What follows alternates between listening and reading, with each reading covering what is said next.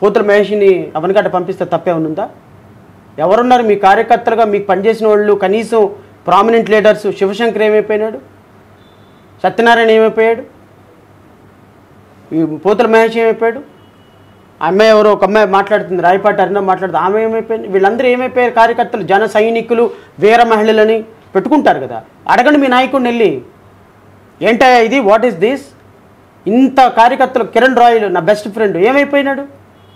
వీళ్ళందరూ నీకోసం నీ పార్టీ ఆఫీసుల దగ్గర పడిగాపులు కాల్సిన నీకు ఈరోజు సీట్లు లేక నువ్వేమో వాళ్ళకి వాళ్ళకి అమ్ము తప్పుతుంటే రేపొద్దు నువ్వు అసలు నాయకుడు వెంటి ఎమ్మెల్యేగా చేయండి అని దండం పెడుతున్నావు నువ్వు. సిగ్గుందా ఇంకా నీకేమన్నా? అసలు మీ కార్యకర్తలకి జనసేన జన జనసేన నాయకులకి కనీసం రోషం పౌరుషం ఉంటే నీలాంటి వ్యక్తిని ఈవెన్ అసలు వాళ్ళు నాయకుడిగా యాక్సెప్ట్ చేయరు. పిఠాపురంలో పవన్ కళ్యాణ్ ఓడిపోతాడు. మీరు అంటున్నారు ఇప్పుడే వర్మ చేతిలో పెడుతున్నాడని. పవన్ కళ్యాణ్ ఓడించేదే వర్మ. ఆయనకి ఆ టాస్క్ చంద్రబాబు నాయుడు ఎప్పుడో ఇచ్చాడు. బట్ ఈ ఇంత నిజమైన మాటలు లేదంటే పచ్చి రియాలిటీస్ ఇవన్నీ కూడా. మ్మ్. పవన్ కళ్యాణ్ గారికి మీలాంటి వాళ్ళు అట్లీస్ట్ అంటే ఇప్పుడు ఏ జగన్మోహన్ రెడ్డి గారు ఒక లోకేష్ కొడాలి నానో గారు అంటే ప్రత్యర్థులు వాళ్ళు రాజకీయంగా మన ప్రత్యర్థి పార్టీల వాళ్ళు అనుకోవచ్చు. బట్ మీలాంటి న్యాయమూర్తి వ్యవస్థలో ఉన్న ఒక పర్సన్ చెప్పినా కూడా అందులో నిజం ఏంటి అనేది తెలుసుకోకుండా ఈ స్థాయిలో ట్రోలింగ్ చేయడం పవన్ కళ్యాణ్ గారిని ఒక మాట అంటేనే వాళ్ళని డీఫేమ్ చేసి డిమోరల్ చేసి సోషల్ మీడియాలో దట్ ఈస్ కాల్డ్ మాఫియా అది వాళ్ళ అభిమానం అనను అది. అది ఒక అభిమానం అభిమానం అనే దానికి పదం పేరు పెట్టచ్చు.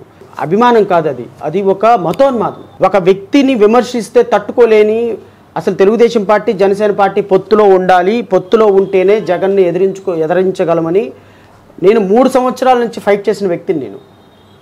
మూడు సంవత్సరాల నుంచి రిపీటెడ్గా రిపీటెడ్గా పొత్తులో ఉండాలి జగన్ను ఓడించాలంటే రెండు పార్టీలు కలవాలని నేను ఫైట్ చేసిన వ్యక్తి.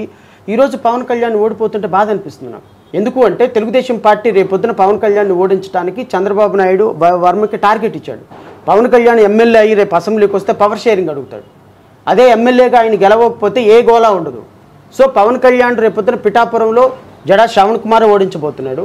చంద్రబాబు నాయుడు ఓడించబోతున్నాడు జగన్మోహన్ రెడ్డి ఓడించబోతున్నాడు. పవన్ కళ్యాణ్కి ముగ్గురు శత్రువులు. ప్రథమ శత్రువు చంద్రబాబు. రెండో శత్రువు జగన్. మూడో శత్రువు నేను. ఇంక నువ్వు ఎక్కడ గెలిచేది? పిఠాపురంలో మా అభ్యర్థి ముప్పై వేల ఓట్లు తెచ్చుకుంటాడు. హీనాతిహీనంగా. సో పవన్ కళ్యాణ్ అనేటువంటి వ్యక్తి అసలు రాజకీయాలకు పనికిరాడు నా దృష్టిలో. ప్రాబబ్లీ ఆయనకి ముఖ్యమంత్రి లేకపోతే ప్రధానమంత్రి హోమ్ మినిస్టర్ ఆయన పక్కన కూర్చోపెట్టుకోవచ్చాము కానీ రెండు వేల పద్నాలుగులో ఒక స్టాండ్ పదిహేనులో ఒక స్టాండ్. పదహారుతో ఒక పార్టీతో పొత్తు. పదిహేడులో ఎన్డీఏతో ప్రేమ.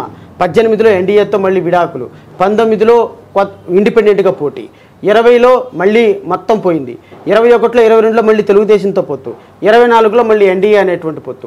ఇరవై నాలుగు తర్వాత ఎవరితో పొత్తు ఉంటుందో ఎవరికి తెలియదు అసలు రాజకీయాల్లో ఉంటాడో కూడా లేదో ఎవరికి తెలియదు అసలు పార్టీ ఉంటుందో లేదో కూడా తెలియదు నాకు తెలిసి రెండు వేల ఇరవై నాలుగు ఆగస్టులోనే జనసేన పార్టీ బీజేపీ తోటి. మెర్జ్ అయిపోతుందని నాకున్నటువంటి ప్రాథమికమైనటువంటి ఇన్ఫర్మేషన్ ఖచ్చితంగా డేట్ కూడా కన్ఫర్మ్ అయిపోయింది. ఈ జనసేన తీసుకుని వెళ్ళి భారతీయ జనతా పార్టీలో మెర్జ్ అయిపోయి ఈయన రేపొద్దున ఇక్కడ ఎమ్మెల్యేగా ఓడిపోవడం ఖాయం. రాజ్యసభ తీసుకుని కేంద్ర మంత్రి పదవికి వెళ్ళడానికి జనసేనని ఇక్కడ మెర్జ్ చేసి తెలుగుదేశం పార్టీని చంపేసి తెలుగుదేశం పార్టీని కూడా భారతీయ జనతా పార్టీలో కలిపేసుకొని ఈ రాష్ట్రంలో ప్రధాన ప్రతిపక్షంగా భారతీయ జనతా పార్టీ పాత్ర పోషించాలని ఒక మాస్టర్ ప్లాన్కి రేపు బలి కాబోతుంది నారా చంద్రబాబు నాయుడు నారా లోకేష్. బట్ ఇంత చెప్తూ ఉన్నారు ఆ కుటుంబం అంటే సినిమాలో ఒక పెద్ద క్రేజ్ ఉంటుంది. ఆ కుటుంబం అంటే సహాయం చేసే ఒక పెద్ద దిక్కుగా చిరంజీవి గారు ఉంటారు. ప్రతి చిన్న ఫంక్షన్కి పెద్ద ఫంక్షన్కి ముందుగా ఆహ్వానం అందుకునేది చిరంజీవి గారు. ఆయన వచ్చారు పార్టీ అన్నారు కాంగ్రెస్లో మధ్య అన్నారు. తమ్ముడు వచ్చారు కాపులు అన్నారు లీడర్ని అవుతానన్నారు మిమ్మల్ని లీడర్స్ని చేస్తానన్నారు. తీసుకెళ్ళి ఇప్పుడు బీజేపీలో ఒకవేళ మీరు అన్నట్టు జరిగితే అసలు ఇంకా రాజకీయాల వాళ్ళు ఎలా చూస్తారండి? నేను అన్నట్టు జరుగుతుంది పవన్ కళ్యాణే చెప్పాడు కదమ్మా. అఫ్ కోర్స్ అదే జరిగితే. జరుగుతుంది అదే జరుగుతుంది ఆ కుటుంబాన్ని లేదంటే కాపుల్లో మాకంటూ ఒక నాయకుడు నమ్మే వాళ్ళకి డెబ్బై ఐదు లక్షల మంది కాపు సోదరులమ్మ చిరంజీవికి ఓటేశారు. నాకు తెలిసిన ఒక వంద మంది నాయకులు కోట్ల రూపాయలు నష్టపోయారు. ఆస్తులు అమ్మేసుకున్నారు. నా షర్మిల ఎలా అయితే మోసం చేసిందో అంతకి మూడింతలుగా చిరంజీవి పార్టీ మోసం చేసి ప్రజారాజ్యం పార్టీని మోసం చేసి కాపు కులాన్ని మోసం చేసి కాంగ్రెస్ పార్టీకి అమ్మేశారు. దేనికి అమ్మేశారు? ఒక కేంద్ర మంత్రి పదవి కోసం అమ్మేశారు. తర్వాత రాజకీయాల్లో ఉన్నాడా చిరంజీవి? ప్రత్యేక ప్ర- మన ఆంధ్రప్రదేశ్ రాష్ట్రం విడిపోవటానికే కారణం ఆ దుర్మార్గుడు చిరంజీవి. సోనియా గాంధీతో ఆ రోజు చెప్పకుండా తెలంగాణను విభజించాడు. సో చిరంజీవి చేసినటువంటి తప్పు మరలా రేపు పవన్ కళ్యాణ్ చేయబోతున్నాడు. పవన్ కళ్యాణ్ రేపొద్దున భారతీయ జనతా పార్టీతో మెర్జ్ చేయడానికి ఇక్కడున్న ఎస్సీలు ఎస్టీలు క్రిస్టియన్లు ముస్లిం ఓట్లు అన్నీ తీసుకొని వెళ్ళి పవన్ కళ్యాణ్ భారతీయ జనతా పార్టీలోకి వేయించి భారతీయ జనతా పార్టీలు రేపొద్దున ఈ పార్టీని మెర్జ్ చేసి నాకేమీ సంబంధం లేదని చేతులు దుప్పేసుకుంటాడు పవన్ కళ్యాణ్కి ఓటేసిన వాళ్ళ పరిస్థితి ఏంటి? పవన్ కళ్యాణ్కి ఓటు వేయమని చెప్పిన వాళ్ళ పరిస్థితి ఏంటి? ఈ మొహాన్ని చూసి నమ్మి ఓట్లేసిన వాళ్ళ పరిస్థితి ఏంటి? రేపొద్దున ఈ రాష్ట్రానికి ఏమీ చేయదమ్మా భారతీయ జనతా పార్టీ. భారతీయ జనతా పార్టీలో పవన్ కళ్యాణ్ తీసుకుని వెళ్ళి మెర్జ్ అయిపోతాడు. మెర్జ్ అయిపోయిన వెంటనే భారతీయ జనతా పార్టీ ఇక ఈ రాష్ట్రంలో రాజకీయాలు జగన్మోహన్ రెడ్డికి తాకట్టు పెట్టేసి వాళ్ళు వెళ్ళిపోతారు. సో ఈ రాష్ట్రంలో పవన్ కళ్యాణ్ అనేటువంటి వ్యక్తి రేపొద్దున పార్టీ మొత్తాన్ని అమ్మేసి మహేష్. మహేష్ కిరణ్ రాయల్ ఎంత కష్టపడ్డాడో తెలుసా? మేము విజయవాడలో కొన్ని వందల ప్రోగ్రాంలో కలిసి పోరాటాలు చేసాం. జనసేనలో ఒక్క నాయకుడు వచ్చేవాడు కాదు. పోతుల మహేషే నిలబడేవాడు. కిరణ్ రాయ్ పోతుల Mahesh.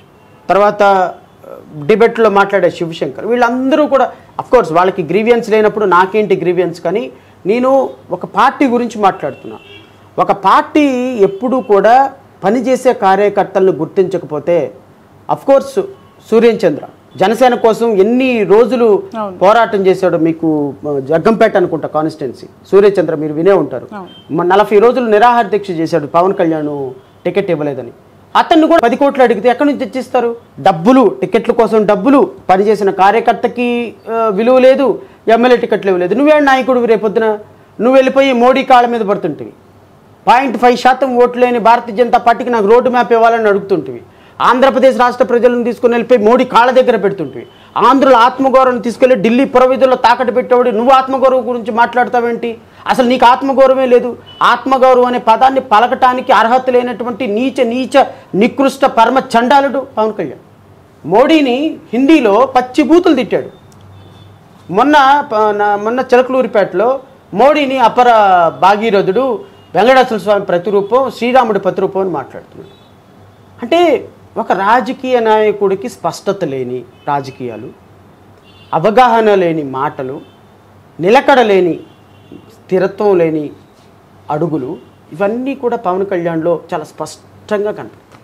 Right thank you so much అండి శ్రవణ్ గారు. మీ వాల్యుబుల్ టైంని మాకు అందించినందుకు. మీరు అనుకున్న ప్రయాణం సాఫీగా చాలి రాజకీయ జీవితం అంటే ఐ మీన్ ఇప్పటివరకు న్యాయవాదిగా అనేక సేవలు అందించారు. సొసైటీలో ఏదో మార్పు కోసం పరితపిస్తూ రాజకీయాల్ని చాలా ప్రయాణం దూరమైనా మారుస్తానని ఒక సంకల్పం మీరు తీసుకున్నారు. ఆ సంకల్పం నెరవేరాలి మీరు అనుకున్న లక్ష్యాలు సాధించాలి. Wish you all success wish you all the best so ఇది జడా శ్రవణ్ గారితో special interview that's all for నా